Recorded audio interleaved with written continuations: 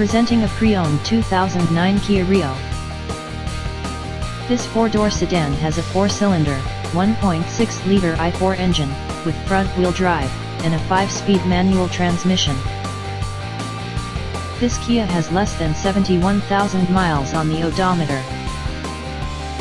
Estimated fuel economy for this vehicle is 26 miles per gallon in the city, and 35 miles per gallon on the highway. This vehicle is in excellent overall condition.